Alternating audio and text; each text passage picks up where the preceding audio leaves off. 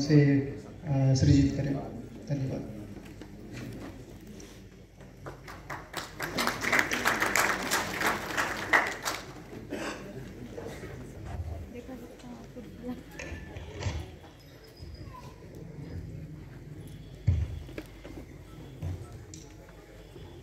APEDA के स्थापना दिवस की ढेर सारी शुभकामनाएँ और बधाइयाँ आप सभी लोगों को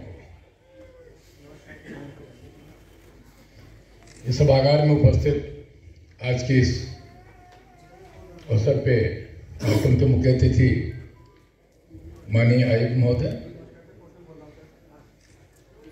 काशी विश्वविद्यालय के पूर्व रजिस्ट्रार डॉक्टर मार्कंडेय पाठक जी, जिन्होंने एक लंबी सेवावधि के बाद अपने जीवन की एक पारी के बाद में सोनभद्र के गाँव में अपने जा करके और किसानों के लिए पुनः काम शुरू किया। हमारे बहुत पुराने मित्र मुंद्रा जी अमेरिकन चैम्बर के और पदाधिकारीगण केंद्र सरकार, राज्य सरकार के अधिकारीगण और पूरी विरासत में जो सबसे महत्वपूर्ण कड़ी है, वो यहाँ पे बैठे हुए किसान भाइयों, बहनों। आत्मनिर्भर भारत लोकल से ग्लोबल और अब जाके पूरा अभियान की सार्थकता जी ट्वेंटी के माध्यम से भारत में। एक प्रक्रिया विकास थी जो आठ वर्ष पहले पुनः शुरू हुई,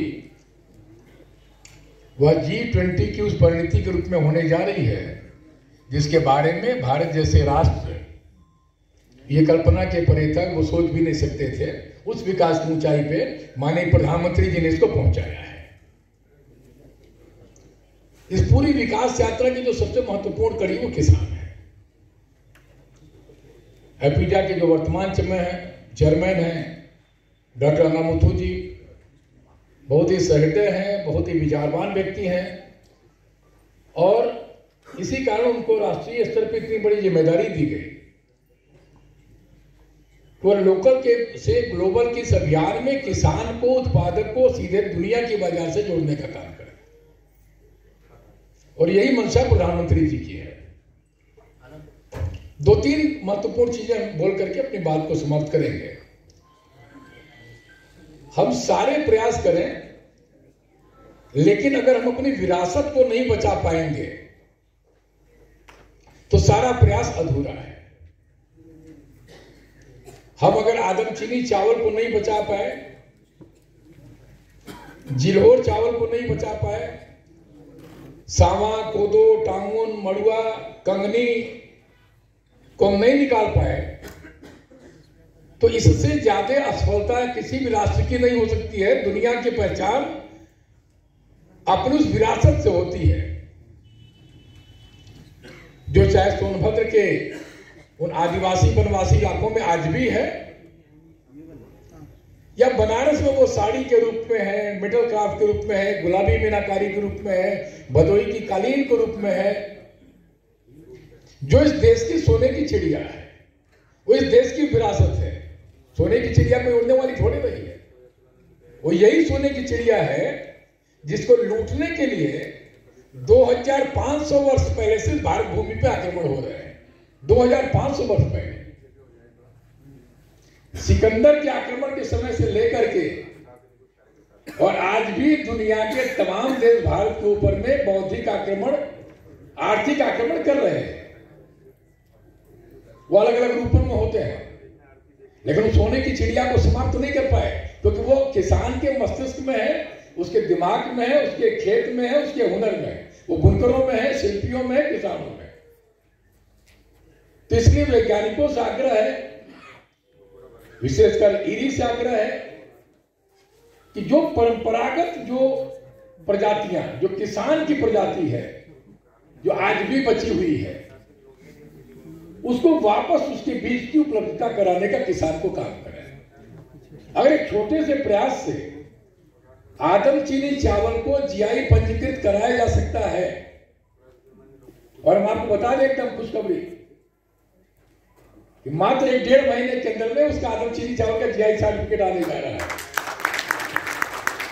जो इस पूर्वांचल का पहला महत्वपूर्ण कृषि उत्पाद होगा, जो समाप्त हो चुका था। लेकिन आज की तारीख में हमारे जैसे लोग 140 रुपया किलो देकर के उसको खरीदे इसी सीज़न में। 140 रुपया किलो। और पाँच सात किसान हैं जो उत्पादन कर रहे हैं, उनका एडवांस है पैसा लोगों का, लेने वाले लोगों का, एक सौ चालीस रुपए का। वो चावल दुबई के बाज़ार में, कुवैत में, सऊदी अरब में 800 से 1000 रुपए किलो बिकेगा। अब आज भी वो जब बन रहा है तो पूरे घर के अंदर उसकी महक आ रही है। वो वापस लाना पड़ेगा। रामनगर के भट्टा को वापस लाना पड़ेगा। उसका भी का सर्टिफिकेट आने वाला है। बनास का लंगड़ा आम, लाल भरवा मिर्च चिड़ई गाँव का करौदा, प्रतापगढ़ का ओला। पूर्वांचल के इस समय 10 कृषि के उत्पाद और हार्टिकल्चर के उत्पाद के जीआई के सर्टिफिकेट मात्र दो तीन महीने के अंदर में आ जाएँगे। अब जीआई हम लोग बाद में चर्चा करेंगे, लेकिन खाली मोटा मोटा ये बात बता दें कि वो उत्पाद आप ही के इलाके में होने वाला है, वो बाहर नहीं हो सकता है। अगर बाहर बुद्धि चौपन के किसी इलाके का अगर मेजरी है तो बनारस में उसका रजिस्ट्रेशन नहीं हो सकता है। आप बनारस में मेजरी की खेती अगर करेंगे तो यहाँ की मिट्टी, यहाँ की जलवायु, यहाँ का पानी, उसके अनुकूल नहीं होगा। ये साड़ी नहीं है कि यहाँ से बेंगलोर जाकर कोई बैठ करके बनाना शुरू कर दिया। लेकिन अभी तो जीआई हो गया, इसलिए वो बेंगलोर में नहीं बना सकता कानूनी संरक्षण है उसके ऊपर। भदोई की कालीन, पानीपत की कालीन को भदोई कालीन नहीं कहा जा सकता है। वो कानूनी संरक्षण प्राप्त हो गया जो उत्पाद जिस भूभाग का है, वही उसका पंजीकरण होता है, उसकी उसका भौगोलिक एरिया तय होती है।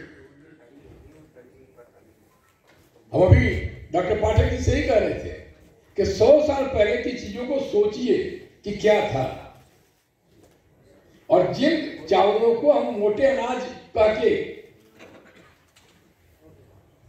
हम उस समाज को देते थे, जो कि बड़ा कठिन परिश्रम करता था, इस कोविड के कालखंड में वो मोटा चावल 400-500 रुपया किलो बिका है, बाजरे का आटा 40 रुपया का पान का पैकेट बाल के अंदर बिकता है।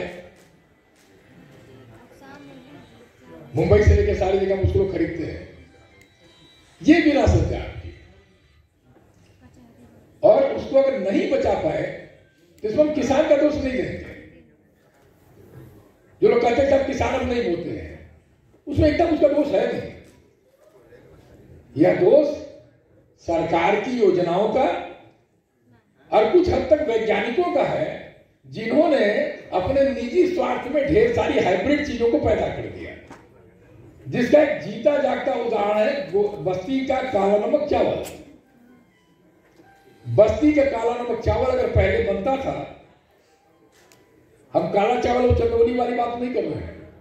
हम काला नमक चावल की बात कर, बस्ती के जो बर्डपुर के इलाके में होता है, जो आज की तारीख में एक हज़ार से बारह सौ रुपए किलो गल्फ कंट्री में बिक रहा है। एक वैज्ञानिक की अदूरदर्शिता गलती करके जो सारा जीवन सर्विस किए नौकरी किए प्लांट ब्रीडर के रूप में। रिटायर होने के बाद अपने गाँव आकर के उस पूरे इलाके में उन्होंने हाइब्रिड शुरू कर दिया। और उसका नतीजा ये हुआ, उसका नुकसान ये हुआ, हम लोग के अथक प्रयास के बाद जियाई भी हुआ। लेकिन उस काला नमक में वो खुशबू नहीं है।